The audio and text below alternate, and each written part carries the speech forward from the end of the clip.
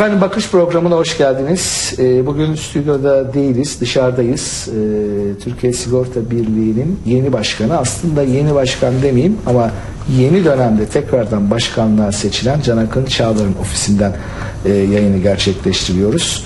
Ee, tabii hem yeni başkanlık var hem gündemin yoğunluğu nedeniyle e, biz kendisini ziyarete hep kendisi bize ziyarete gelirdi bu sefer biz kendisini e, ziyaret edelim dedik ve e, yayınımızı da e, Euroka Sigorta'dan yapıyoruz.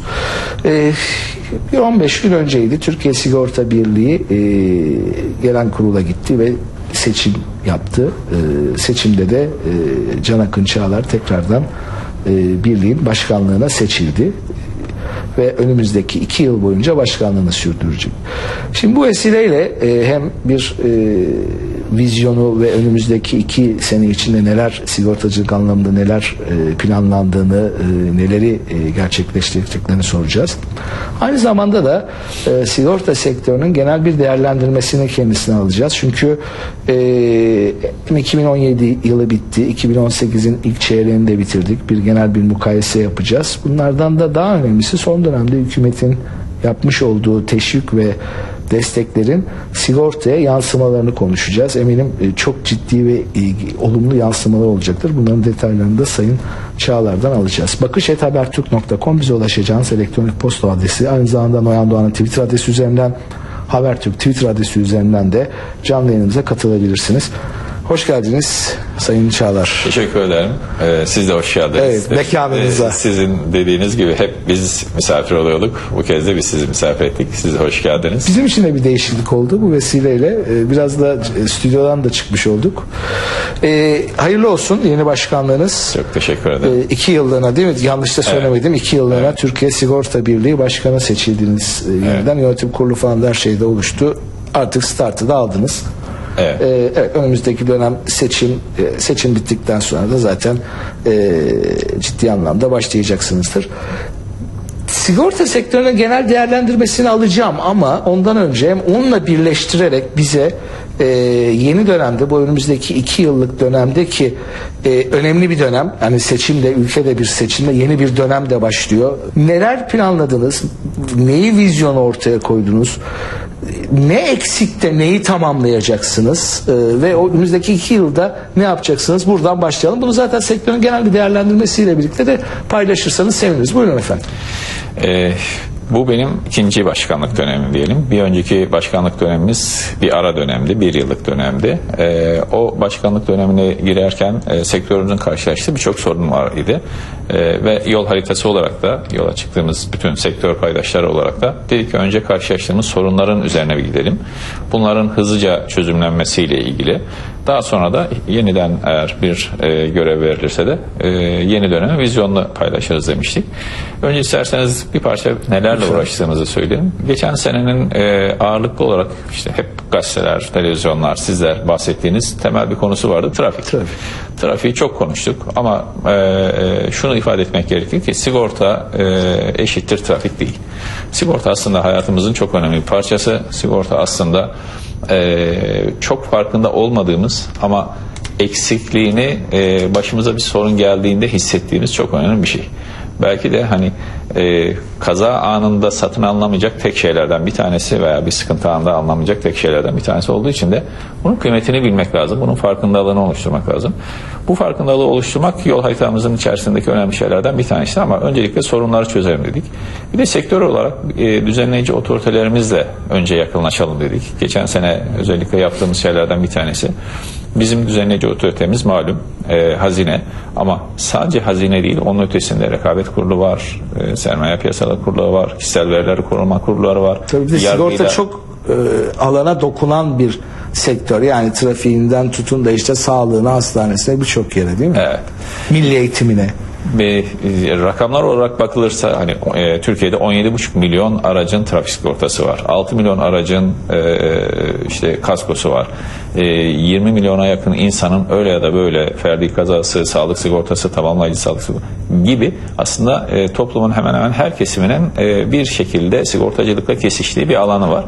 Dolayısıyla e, düzenleyici otoriteler illaki hani sektörü büyütmeye yönelik şeyler yapıyor ama zaman zaman biz kendimizi anlatmakta belki eksiklik e, oluşturmuş idik. Onları giderelim diye geçen sene çoğunlukla kamuyla olan ilişkilerimizi bir seviyeye getirelim dedik. E, ki Hazine müsteşarlığımıza sağ olsunlar bize fevkalade yakınlık gösteriyorlar. Defalarca toplantılar yaptık. Bütün sektörü bir araya getirdik. Uzunca zamandan beri pek yapılmayan işleri yaptık.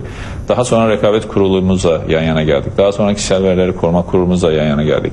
Ve en son Yargıtay Başkanımız lütfetti. Yargıtay'la değişik birçok toplantılar yaptık. İstanbul'da, e, Bursa'da, değişik yerlerde Yargıtay'ımızın birçok üyeleriyle bir araya geldik. Derdimiz sigortacılık çok bilinmeyen bir iş olduğu için e, asıl işi de ve konsantrasyonda bu olmayan e, otoritelere, hazinenin dışındakilere biraz daha kendimizi anlatalım istiyoruz. Çünkü bizim derdimiz e, sorunların e, uzaması, vatandaşa hizmette kusur etmek diye bir derdimiz yok. Bir an önce ödemek derdindeyiz. Arada tabii ki hukuki sorunlar çıkabiliyor. Bunların bir an önce çözümlenmesi ve standart hale getirmesi çok önceliklediğimiz konulardan bir tanesi de Yargıtay'ımızla e, ve Hukuk e, Adalet Akademisi ile defalarca toplantıları yaptık. Onun ötesinde e, trafik diyoruz hep, e, e, primleri konuşuyoruz ama asıl sorun memleket sorunu diye ifade ettiğimiz sorunlardan bir tanesi trafik kazaları. Bu kazaların azaltılmasıyla ilgili e, Emniyet Genel Müdürlüğümüzle defalarca toplantılar yaptık. Sayın Bakanımız Süleyman Soylu e, beyefendi ile birkaç defa toplantılar yaptık. Bizatihi geldi katıldı saatlerce bizlere destek verdi. Dolayısıyla sigorta sektörü olarak bizi düzenleyen, denetleyen, yol gösteren tüm kamuyla e, işbirliğine çok önem verdik. E, bundan sonraki dönemde ne yapacağımız diye e, ifade etmek gerekirse e, öncelikle sorunların üzerine gidip bunları çözelim dedikten sonraki dönemde e, Türkiye'nin büyümeye ihtiyacı var. Her alanda büyümeye ihtiyacı var. Sigorta sektöründe büyümeye ihtiyacı var. Rakamsal olarak söylemek gerekirse geçen sene %15 gibi büyüdük. Geçmiş 10 yıla bakıldığında... Reel mi nominal mi? Nominal, nominal. anlamda. Ee, e, e, geçmiş 10 yıla bakıldığında da ortalama %18'lik bir nominal büyümeden bahsediyoruz. Devamlı büyüyen, işte enflasyonla mukayese ettiğimizde de birkaç puan reel büyümeyi de gösteren bir sektör. Bundan sonraki süreç içerisinde de ama e, Türkiye'nin bütün büyük finansal büyüklüğün içerisinde %88'ini bankacılık oluşturuyor. Sonra ikinci en büyük sektör e, sigorta sektörü %4. Dolayısıyla bu dönem e, bizim bütün sektör paydaşları olarak hem bir tarafta hayat dışı sigorta şirketleri olarak bir tarafta da ki e, bir başka memleket meselesi diye biraz da bankacılık geçmişimden e, e, ifade ederek tasarrufları açık az olan bir ülkeyiz. Yatırımlarımız için yetmiyor. O yüzden bireysel emeklilik sistemimizi bizim mutlaka ve mutlaka e, çok ivmelendirmemiz gerekiyor. Toplumun tüm kesimine yaymamız gerekiyor. Katılımcı sayısının her geçen gün artmasına e, e, oynamamız gerekiyor. Oradaki fonların getirisi malum enflasyonun üzerinde veya diğer enstrümanların ortalamanın üzerinde bir getiri de sağlıyoruz işin açıkçası. Dolayısıyla yeni dönemin bir parça büyüme, orta vadeli plan malum e, çok net bir deklarasyonu var. Bankacılık yeterince yükü taşıyor Türk ekonomisinin. E, bunun diğer e, bankacılık dışı finansal kurumlara da bu yükün aktarılması ve buraların büyütülmesi diye Sayın Bakanımız Mehmet Şimşek e, e, ifadeleri bu yönde. Orta vadeli plana e, deklar edilmiş e, haliyle böyle. Dolayısıyla biz bu rüzgardan istifade etmek istiyoruz ve sektörün önümüzdeki dönemdeki hepimizin odaklanacağı nokta sektörün büyütülmesi. Trafik bitti mi Can Bey? Trafik konuşmak artık kalktı mı? Yani ve hani zarardan bahsediyordunuz. E, son toplantınızda da evet hala bir zarar öngörüldüğünü ve hazinede buna karşılık kamuda bir takım artı üzerine e, destekler, zamlar yaptı falan. Artık kalktı mı gündemimizden? Ee, şöyle, e, trafik canımızı acıtan bir şey. Bu bir kamusal yük, kamusal görev. E, yük demeyelim. Çünkü zorunlu olduğu için biz lisans olan sigorta şirketlerinin yapması gereken bir görev. Bunu kabul ediyoruz. Ama biz burada para kazanmak isteme, e, kazanmayalım. Fakat para da kaybetmeyelim derdindeyiz. E, kamuyla bir parça başlangıçta birkaç e, zamandır kendi rakamlarımızla kamunun rakamları arasında onların hesaplama metodolojisi ve bizim sektörün hesaplama metodolojisi olarak bir farklılıklar vardı. En son hem Sayın Müsteşarımıza sağ olsunlar e, lütfettiler kabul ettiler. Hem Sayın Bakanımız sağ olsunlar kabul ettiler. Dedi ki biz üçüncü bir e, gözle dışarıdan bir şirkete bu işi uzman bir şirkete bu işi verelim ve onların rakamları üzerinden e, isterseniz hareket edelim dedik. O çalışma bize şunu söyledi. 100 liralık trafik priminden biz 136 lira para ödüyoruz. Yani 36 lira e, zarar eden bir iş bizim için. 36 lirayı cepten karşılıyorsunuz. 36 lira cepten karşılıyoruz. Dolayısıyla e, bunun işte her dönemde işte enflasyon kadar bir artışını sağlamaya çalıştık sağ olsunlar onu uygun gördüler. Geçtiğimiz dönemde bir yüzde beşlik artış oldu onu e, sağ olsunlar. Derdimiz buradan para kazanmayalım ama buradaki başka sıkıntı şu e, trafikte biz para kaybettiğimiz zaman bunun zararını diğer ürünlere yansıtıyoruz. Hep söylediğim bir şey var. Ayşe teyzenin evinin e, poliçesi 100 lira olacağına 120 lira olacak hale geliyor. Veya sağlıkta biz işte e, ne bileyim 800 liraya bir e, ürünü satacakken 900 liraya satmak gibi bir şey haline geliyor. Orada e, e, riskli sigortalar havuzu diye o kurduğumuz havuz çok e, işlevsel hale geldi. E, belki bunu bir müddet sonra ileriki zamanlarda e, aracı sigortalamanın ötesinde kişiyi sigortalayan hale getirmek lazım. Bununla ilgili bir takım çalışmalarımız da var. Belki kısa süre içerisinde hemen hayata geçirilecek bir şey değil. Çünkü kaza yapan araç değil bir takım istatistikler var. Ee, e, kazaların %93'ü sürücü kusurundan kaynaklanıyor. %3'ü araç, %3'ü de işte yol vesaire şeklinde. Dolayısıyla kaza yapan araç olmadığı için biz aslında aracı sigortalıyoruz. Aynı kişi e, işte lüks bir araca biniyor. Aynı kişi daha e, alt düzeyde bir araca biniyor. İkisini de kullanan aynı kişi ama biz birine işte 5 bin lira diyoruz, birine 2 bin lira diyoruz. E, dolayısıyla geçmişte bir takım örnekler var. E, işte çok meşhur bir örnek var biliyorsunuz. E, 23 kere e, trafik cezası vesairesi e, puanları olan bir kişinin bile aracının e, en düşük primden sigortalanır. Evet. Çünkü şirket üzerine kayıtlı olan bir araç olması dolayısıyla. E, belki o trafiği bir şekilde hayatımızdan e, işte çıktı, çıkıyor e, çıkarmaya devam ediyoruz. Ama oradaki zararı diğer ürünlere yansıtmak durumunda kaldığımız için bir parça bundan rahatsızız. E, overall'a bakıldığında e, sektör işte kar etmeye çalışıyor. E, dediğim gibi yani bu zorunlu ürünlerden kar derdinde değiliz. Ama onların oluşturduğu maliyeti diğerlerinin üzerine, diğer e, kişilerin, ürünlerin e, üzerlerine yansıtmamak adına trafikte bir yer, e, bir yol alalım istiyoruz. E, bugüne kadar geldiğimiz nokta olarak e, hem kamuya hem hazinemize teşekkür ediyoruz. Bunun ötesinde demin de ifade ettim Sayın Bakanımız Süleyman Soylu Bey'in riyasetlerinde birkaç seri toplantılar yaptık. Asıl amaç e, kazalar kazaları azaltmak.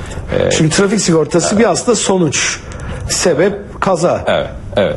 Türkiye'de 7300 kişi bir yıl içerisinde vefat ediyor. İşte bu kazalarda aşağı yukarı 300 binin üzerinde insan yaralanıyor bedeni hasar. Biz bunları e, bir şey olarak hani bilançomuz üzerindeki etkisi olarak da asla değerlendirmiyoruz. Burada giden canlarımız 7300 tane insanımız hani bir kasaba neredeyse e, gibi insanlarımız e, hayatlarından oluyorlar. Bu yüzden biz seri toplantılar yaptık. Hatta e, yeni bir takım kampanyalar yapacağız. E, bu kemer sana çok yakışıyor tarzı. Arka koltukta e, kemer bağlama uygulamalar. Çünkü kazaların bütün detaylarına e, e, vakıfız işin açıkçası. Bakıldığında arka koltuktaki kemer uygulamasının bile kazalardaki e, ölüm oranlarını, işte yaralanma olaylarını bir hayli azalttığını biliyoruz. E, Milli Eğitim Bakanlığımız da çok yakın bir alkış içerisinde olduk bu süre içerisinde. Sağ olsun Sayın Bakanımız e, ne istiyorsanız müfredata koyalım şeklinde bize yaklaştılar. Dolayısıyla bir taraftan kamusal desteği arkamızda çok net hissediyoruz. Kendilerine teşekkür ederiz bu süre içerisinde. Bir tarafta bizim yapmamız gereken şeyler var. Özellikle emeklilik sistemiyle ilgili, e, otomatik katılım sistemiyle ilgili belki sektör olarak biraz daha fazla tanıtıma önem vermemiz gerekiyor. Orada Sigortayı biraz anlatmak gerekiyor herhalde topluma daha evet. fazla faydasını evet. gerekliliğini evet. anlatmak gerekiyor. Bu iş sanki kamunun e, bir işiymiş gibi algılandı. Hani mecbur edilmesi otomatik katılım sistemine şu insanlar şu dönemde şu dönemde şu kadar insanlar girecek deyince bir kamusal görevmiş, kamusal yükmüş gibi algılandı. Ama neticede bize bir alan açılması diye bakmak lazım. Ee, sektör olarak burada biraz hızlı geçildi tabi. Ba başka ülkelere bakıldığında epey bir zaman almış. Ee, 3-5 yıllık periyotta geçmiş e, diğer ülkeler. Biz buna çok hızlı karar verdik ve çok hızlı geçtik onun getirdiği zaman kısıtından dolayı belki toplumu yeterince bilgilendiremedik.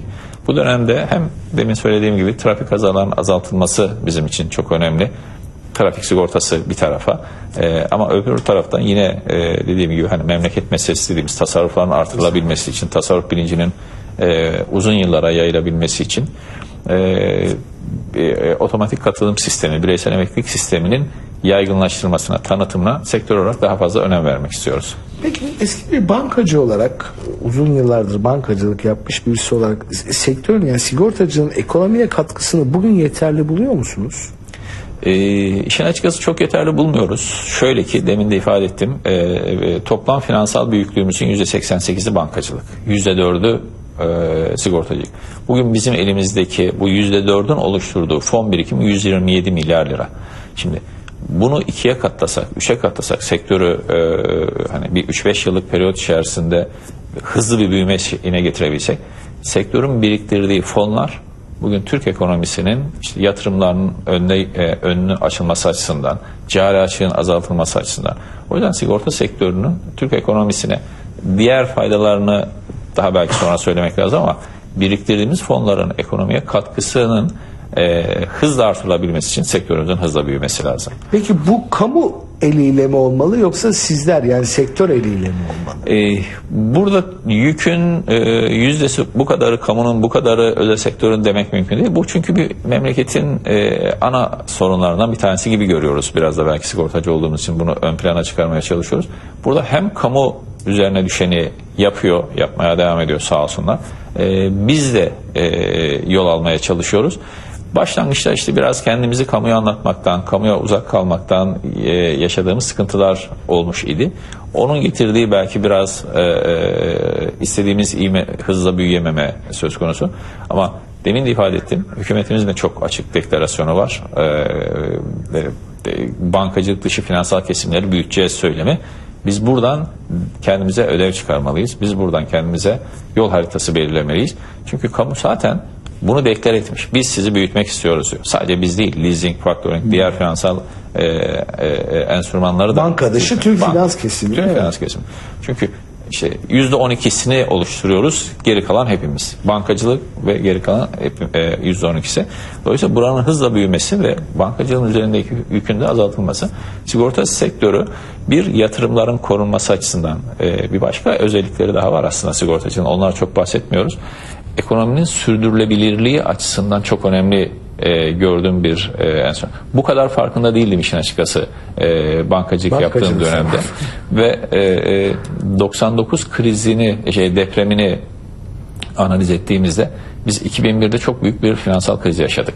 Finansal kriz e, Türkiye'nin üretim kalbi olan Adapazarı, Gölcük, Bursa, Yalova'daki o yaşadığımız keza İstanbul'daki toplam kredilerin %45'i Marmara bölgesinde kullanılıyor.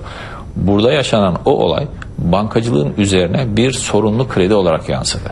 Bunu aslında çok dillendirmedik. Çok da hani yazıp çizmedik. Bir gün fırsat bulsam bir doktora falan yapmaya kalksam belki bu konuyu Marmara depreminin etkileri üzerine değil mi? Doğru. Aynen Marmara depreminin e, 2001 krizine gelirken biz hep böyle bir finansal krizden bahsettik. Bankalarımız battı.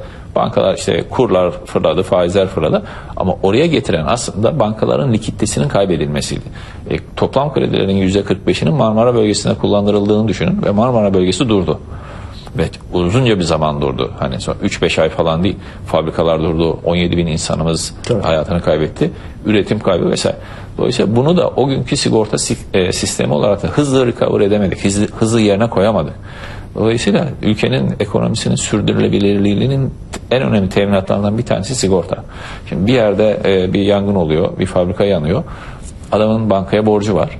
Eğer ki kar kaybı poliçesinde kar kaybı e, klozu var ise o yangını hemen e, e, işte hasarı ödediğimiz gibi fabrikanın durduğu zaman içerisinde bile e, bankaya olan ödemelerini sigorta sektör olarak karşılayabilecek noktadayız. Mesela bir başka şey var. Kamudan talebimiz e, önümüzdeki bu dönem içerisinde ifade etmem gereken sermaye piyasası kurulunda bir şirketimiz borsaya açılmak istediğinde e, malum finansal denetimleri, bağımsız denetimler, e, mali müşavir onayları vesaire e, defalarca bir sürü finansal detaylar çalışılıyor ve e, sermaye piyasası kurumumuzun önüne konuyor. Ama bunun içerisinde sigorta var mı diye Kimse sormuyor. bir, e, bir kural yok. Ve o sigortanın hani sigorta var, sigorta var. Sigortanın neyi kapsadığı da çok net tadat edilmiyor. E, çünkü ben yatırımcı olarak bir şirketin hisse senedini aldığımda Allah korusun bir yangın oldu bir deprem oldu, bir şey oldu, fabrika yandı, yıkıldı. benim hissemin bir anlamı yok. Siz istediğiniz kadar finansal denetimini, finansal bilançolarını vesairelerini audit ettirin vesaire ettirin işin başında ama sonraki dönem içerisinde yatırımcının korunabilmesi açısından, ülkenin korunabilmesi açısından, o ya, ekonomik yapının hemen yerine konabilmesi açısından sigorta son derece önemli.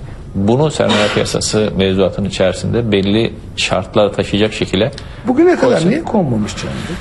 Ee, ya borsadaki yatırımcının koruyan bir en önemli unsurun e, bugüne kadar hiç yani çok da göz önüne alınmaması, göz ardı edilmesi çok da doğru bir şey değil. Dışarıda örnekleri vardır herhalde. Bu sistem böyledir değil mi yurt dışında, Tabii, hani Türkiye tabii. dışında? Tabii e, ben yeni sigortacıyım. Siz eski sigortacı bunu benim size sormam Biz bunu lazım. yıllar öncesinde yazdık Can Bey tamam mı? Yani yazdık ama baktık kimse yok. Yani bir şirket e, işte halka açık bir şirketin büyük bir depremde işte faaliyete geçmesi şu bu falan Yandı. yatırımcı bitti gitti yani aldığı kağıt e, ufak oldu diye demiştim. Bakın bir başka şey hani deprem gibi büyük riskin ötesinde geçenlerde bizim yaşadığımız bir olay bir fabrikada yangın oldu fabrika tamamen yandı. Biz 25 milyon euroyu kütleye çıkardık ödedik 15 gün içerisinde. Fakat komşu mali mesuliyeti dediğimiz klozda olmadığı için poliçenin yangın yandaki fabrikayı da e, yaktı. Biz 25 milyonu e, fabrikaya ödedik. Adam aldı 25 milyonu yandaki fabrikaya sahibine ödedi. Battı gitti. Yılların yatırımı esnaf. Şimdi bu yatırımın halka açık olduğunu düşünün. Evet. Bunun hissedarları, oraya hisse, e, yatırım yapmış olanların hepsi birden işte varlıklarını kaybetmiş olacaklar. İrtibat kurdunuz değil mi? E, di- Sermaye piyasalarıyla ilişkiye Evet, geçtiniz. evet. Bunun herhalde e, konması için. Önceki başkanla Vahdet Bey'le bunu uzun uzun konuştuk ama onun döneminin sonuydu. Şimdi yeni başkan da e, sağ olsun arkadaşımız e, ona da hem bir hayırlı olsun ziyaretine gideceğiz hem bu konuları ona da e, arz edeceğiz. E, bunun gibi aslında hani sigorta deyince biz hep trafik trafik trafik konuştuk. Tabii 17,5 milyon insanımızın hayatına dokunuyor. Onların cebine dokunuyor. Biz de burada e, e, e, e, söylediğim gibi hep daha yüksekten satalım derdinde değiliz. Keşke kazalar az olsa, hasar az olsa biz o primleri olabildiğince aşağı çekebilsek.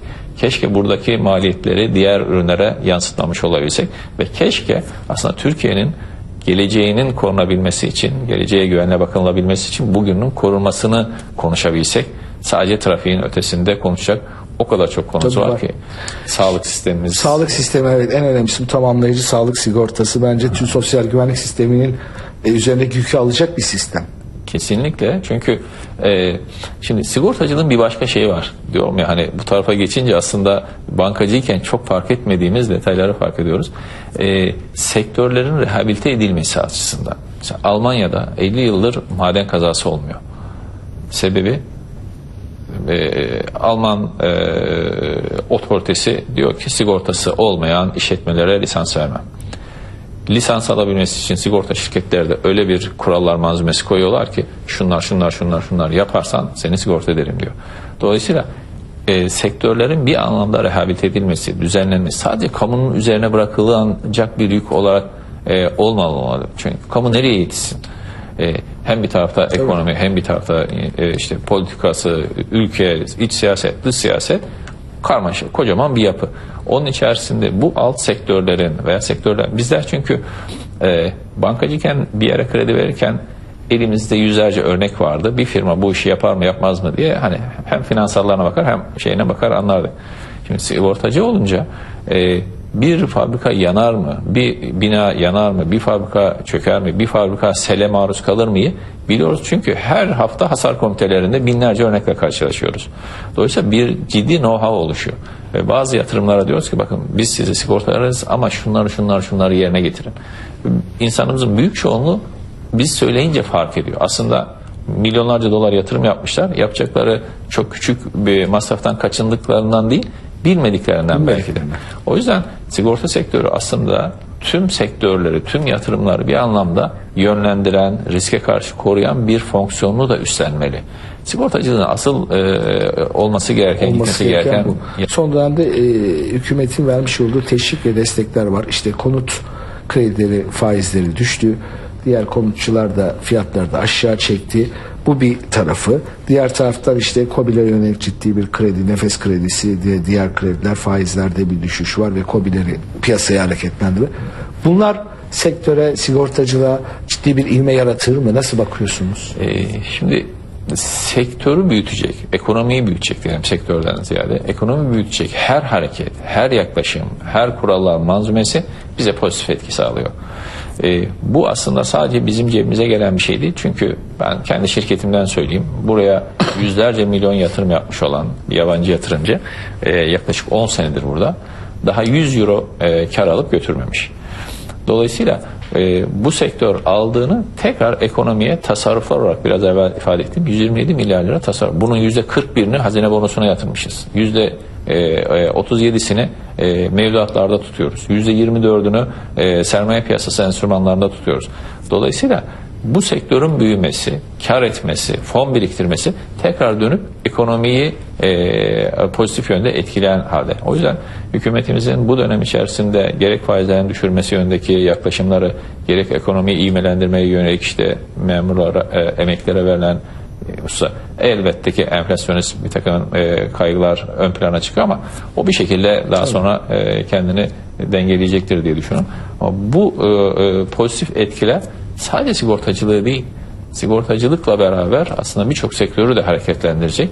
Sigortacılık deyince e, Türkiye'de hani 63 tane sigorta şirketi var. Bunun 39 tanesi elementer. E, 19.511 kişi çalışıyor. Ama biz binlerce tamirhaneyi finanse ediyoruz. Yüzlerce, binlerce hastaneyi finanse ediyoruz. Böyle arka tarafına bakıldığında yüz binlerce insanın bir anlamda istihdamına katkı sağlayan da bir sektör. Sadece fon üreten, insanların zor zamanda yanında olan bir sektör değil.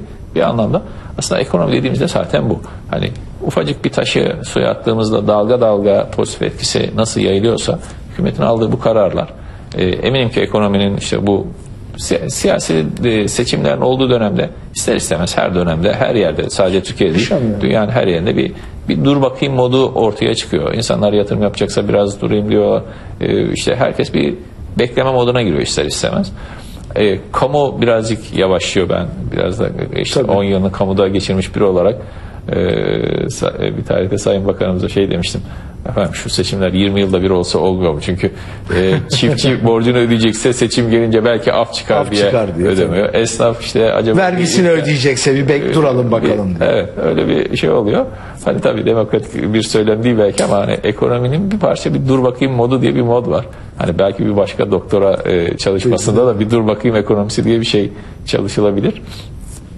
Bu tarz hareketler ekonominin hızlanmasına, o taşın suya atılmasındaki dalga efektiyle bütün sektörü daha sonra da onlar tekrar dönüp e, diğer sektörleri pozitif etkilemesiyle çok önemli buluyoruz. Peki biraz farklı bitirelim programı. Tekrar döneceğim size. Bir iki dakika bırakacağız. E, DASK e, siz de bu oluşumun içindesiniz. Aynı zamanda yönetim kurulu başkan yardımcısınız değil mi? Doğal Afet Sigortaları Kurulu. Üyesiyim. Üyesisiniz. Şimdi DASK'la ilgili bir küçük yani sizin de hani çok ilgilendiğiniz ve gönül verdiğiniz bir konu olduğu için diyorum. Ben bir küçük haberimiz var. Ardından e, Can Bey'e bu haberle ilgili bir iki cümle e, söyletip sonra da kapatacağız. Türkiye'de depreme dayanıklı bina bilincini artırmak amacıyla düzenlenen depreme dayanıklı bina tasarımı yarışmasının dördüncüsü gerçekleşti. Doğal Afet Sigortaları Kurumu Başkanı Murat Kayacı katıldığı ödül töreninde geleceğin müteahhitlerine deprem bilincini kazandırmak amacıyla bu yarışmayı düzenlediklerini belirtti. Depreme karşı alınabilecek en etkili fiziksel tedbirlerin başında şüphesiz depreme dayanıklı binalar inşa etmek ve bütün binaları depreme dayanıklı hale getirmek gelmektedir. İşte depreme dayanıklı bina tasarım yarışması bizler için bu dönemde çok e, önem arz etmektedir. Çünkü hepinizin büyük bir emek verdiği bu organizasyon doğal afetlerin yıkıcı etkilerine karşı hazırlıklı olan, bu yıkıcı etkilerden olabilecek en asgari şekilde etkilenen ve gelecek nesillere daha değerli miraslar bırakabilecek bir ülke hayalimizi gerçekleştirecek siz gençlerimize deprem bilinci kazanma konusunda büyük bir fırsat sunmaktadır. 51 üniversiteden 76 takımın başvurduğu DASK depreme dayanıklılık bina tasarımı yarışmasının finalinin ardından ödüller sahiplerini buldu. 9 Eylül Üniversitesi finalde mücadele eden 24 takımın arasından sıyrılarak birinci oldu. Yarışmada Karadeniz Teknik Üniversitesi ikinci, Bursa Uludağ Üniversitesi üçüncü oldu. Bu e, DASK'ın organizasyonu bir bina e, depremi e, anime ettiniz galiba animasyondu. Ve bundan sonra size bırakayım bir iki cümle alalım ve kapatalım. Ee, DASK'ın malum görevi işte Türkiye'nin e, deprem güvenliğinin, binalarımızın deprem güvenliğinin sağlanması. Biz bunlarla ilgili hani sigortacılığın genel eksiklerinden bir tanesi kamuoyu oluşturmak, kamu bilinci oluşturmak e, sadece hani DASK için değil, diğer alanlarda da eksikliğini hissettiğim şey. Otomatik katılım sisteminde ifade ettik. İşte trafik diyoruz, diğer e, sağlık diyoruz falan. Bunların farkındalığını oluşturabilmek için biz her yıl DASK olarak e, depreme dayanıklı bina yarışması diye e, hani bu iş biraz eğitimle başlayan bir iş malum. Hem Sayın Bakanımızın, Milli Eğitim Bakanımızın işte müfredatlara girecek yaklaşımıyla olduğu gibi hem de üniversitelerde e, mühendislik ve mimarlık e, okuyan okulla e, e, üniversitelerin birimlerinde 4 yıldır bir yarışma organize ediyoruz. Depreme dayanıklı bina tasarım yarışması. Amaç bunlar gelecekte Türkiye'yi imar edecek insanlar. Ee, bir farklı atmosfer oluyor. O ortamı e, siz de birkaç defa katıldınız. Katıldık O binaları, e, maketleri sarsıyoruz. Onlar birebir örnekler. Aylarca üzerinde çalışılıyor ve o örnekler sonucunda da işte binalar sarsıyoruz. Onlara küçük ödüller veriyoruz. İşte o sallama masalarına şey yapıyoruz. Amacımız geleceğin mühendislerine, mimarlarına gerçek ortamda bir bina yapsalar bunlar depreme nasıl dayanır? Ee, sadece hani her tarafını beton, kolon falan yaparak da dayandırabilirsiniz ama bir de bunun ekonomik Estetiği olarak de var estetiği yani. de olması gerekir diye böyle bir çalışma yapıyoruz. Bunu belki önümüzdeki dönemde biraz daha yaygınlaştırmamız, sizlerin işte sağlayacağı katkılarla inşallah e, biraz daha toplum geneline yaymamız gerekiyor. Üniversitelerde bu bilinci oluşturmamız gerekiyor. Peki e, çok teşekkür ediyorum e, Sayın Çağlar, e, Can Bey. E, hem seçim için tebrikler diyorum hem de yeni dönemdeki yapacakları için başarılar diliyorum. Aslında sık sık bir araya geliriz yine bu ekranlardan. O gelişmeleri paylaşırız. Tekrar teşekkürler efendim. Ben çok teşekkür ediyorum buraya geldiğiniz için. Sağ olun. Çok sağ olun. Yarın aynı saatte görüşmek üzere. Hoşçakalın efendim.